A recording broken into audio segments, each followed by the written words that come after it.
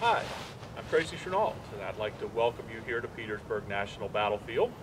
Today we're here at our stop three on the Eastern Front Tour Road, and I'd like to talk to you a little bit about the role of artillery in the events here at Petersburg in 1864 and 1865.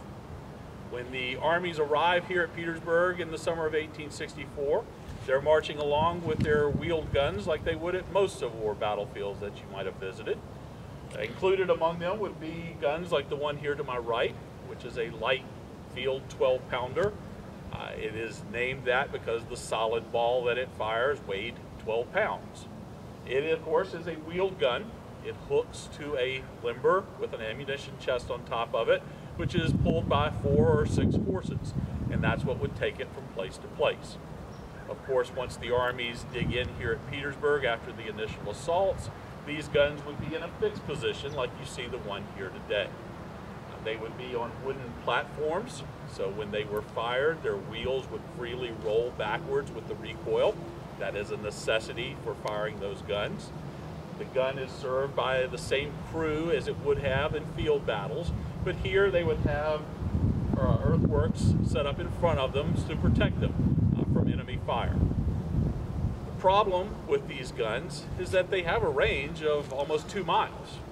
But here at Petersburg, the trenches are much closer here on the Eastern Front, at times no more than 200 yards, two football fields apart. And so the relatively flat trajectory of those guns make them pretty ineffective. And so their role, instead of being offensive in nature, becomes more defensive they become more of an anti-personnel weapon in case these entrenchments would be attacked by the enemy.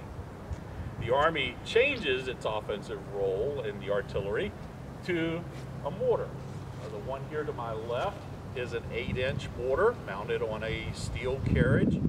Uh, it's a little bit heavier than some of the smaller mortars that would be here, but because of its designation, an 8-inch mortar, it fires a round ball that's an exploding projectile that's 8 inches in diameter, so much the size of a bowling ball. And the nature of firing mortars is that the fire isn't flat trajectory like the field guns.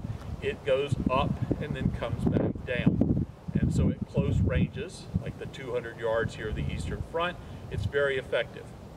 Once the gunners had established how far away the enemy target was, they were able to then fire these with a much smaller crew than the field guns.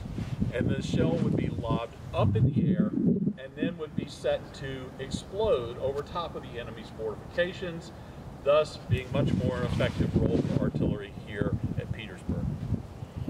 As the siege of Petersburg continues on, both of these guns, types of weapons, are going to find more and more uses in the works around Petersburg, and both will ultimately be used by the Army in different roles, even to their current inceptions today.